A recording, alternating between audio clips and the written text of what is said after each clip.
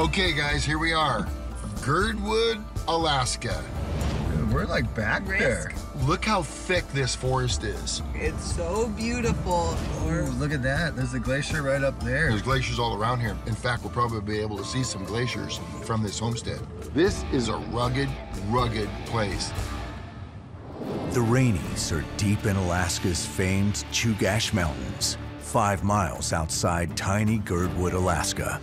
First founded by gold seekers who braved the region's treacherous terrain in search of fortune, more than a century later, these mountains remain isolated and untamed. Trying to carve out their own life in this unforgiving wilderness, the Kramers. My name is Curtis Kramer. I'm 44 years old. This is my wife, Emma Kramer, and she is 44 years old also. I'm 43. Oh, oops. My name is Naya Kramer. I just turned 19. My parents have been living off the grid and raised me off the grid for the last 20 years about. But after my parents lost their business this last year, we realized that our homestead is definitely not self sufficient. And we still need an income to buy certain things stuff for the house, food. We really don't have a very good food supply. To feed my family, it's going to be a struggle. The garden that we have going right now, it can't sustain us throughout the winter for sure. Curtis is able to fish in Prince William Sound in Cordova. But salmon season's gone in August. We tried to do chickens up here, but unfortunately, the uh, neighborhood predators actually got after him. Both of us always wanted to be self sufficient. My dream would be that my parents would be self sufficient, but they just don't really know where to start from at this point. So we definitely need that help. I do worry about making it through this winter. It's definitely going to be a struggle for us. I'm really scared about losing everything my parents have ever worked for, so we definitely need the Raneys' help. Before we build anything down here, we got to think about that road. But I can't work on it without that neighbor's permission. So uh, we need to meet this guy because I'm thinking I'm going to get an excavator and I'm going to scratch some of those big boulders and that granite and see if we can get a switchback or widen it or do something to benefit them. There's what I found out walking around with Rowan and Naya. They used to have chickens back in the day. They said all their chickens got ate by bears. So it's kind of a sketchy place to raise livestock. Are you suggesting that we bring chickens back? I think we need a predator-proof chicken coop. All right, we're good. You guys moved this window over? yeah, we're changing up the place. I've built a lot of chicken coops. This chicken coop is gonna be perfect for this homestead. This is a children's treehouse. There is joy and wonder and good vibes just baked into the walls. And I think that's gonna transfer into these chickens, and we might have the happiest chickens I've ever seen. So you're taking this off, and then we're gonna put a floor on it? No to all. No. no. I'll show you, Rowan and Naya. They're starting to really see the vision and progress ahead. I'm really excited to repurpose the treehouse and give it a new life as a chicken coop because my parents really don't have anything to fall back on for a food supply. This platform is the old floor. I'm not gonna use this. We're gonna raise the floor for the chickens up to here. But I wanna take it a step further.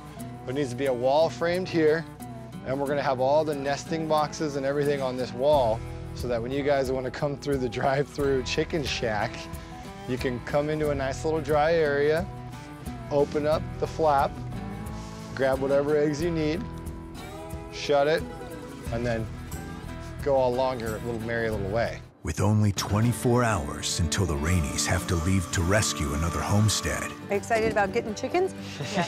Matt, Melanie, and the Kramer children, Rowan and Naya, put the finishing touches on their treehouse turned predator-proof chicken coop. Exciting! It's a good chicken coop, guys. It is. Compared to our old treehouse, it's, it's doing pretty good. We got the chicken coop pretty much done. I'm putting the last touches. Two layers of defense, different wire, different sizes. Perfect. It's gonna be hard for a critter to get through. Done! I think it looks pretty good. All we need to do now is move the chickens in the coop, give them some food and water, and this thing will be totally completed. The chickens are here. The chickens are here. Pull forward a little bit. Right here. It's good. Wow, wow. nice. Look at these chickens. Hello, sir. We brought in our friend Don. He raises chickens for a living. He is the go-to. And Don has given us really the most hardy, tough chickens that can survive this really brutal, long Girdwood winter. And these chickens are gonna provide a lot of food and a lot of protein for this homestead. She's so cool. This is a Novogen, Oh, wow. and she'll start laying in a week or so. And What's- then this is a color pack. He's got like a mohawk. Or she. The breeds that showed up here today are super good for cold weather, and in Alaska, that's really important. A color And they're pack. particularly cold hardy because see, they're they have Yeah. a little mohawk on top of their comb. They've got very small wattles. They should do really well for you. Dude, this Great, is thank you. Awesome. Wait here, I want to take a quick peek. Okay. I want to see which one I'm going to name. Seven days ago, the Kramer homestead was without livestock or a reliable source of winter protein.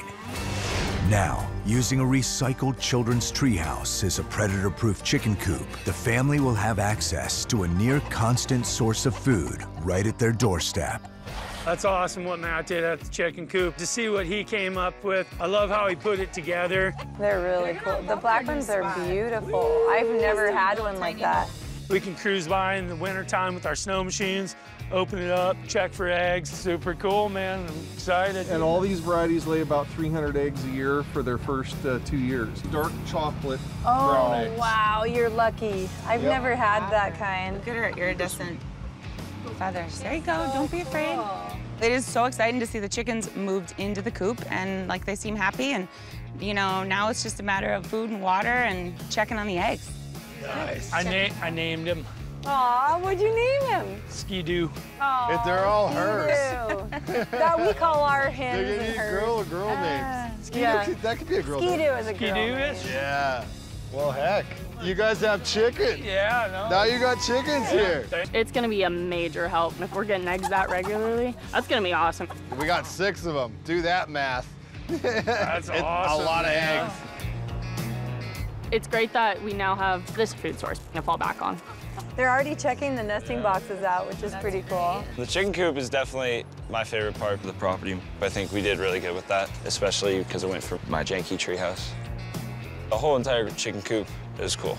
Right on. Well, thank you so much. All right, good meeting you. Thanks for the Nice delivery. meet you. Thanks, man. Have a safe drive back. I will. Thank you.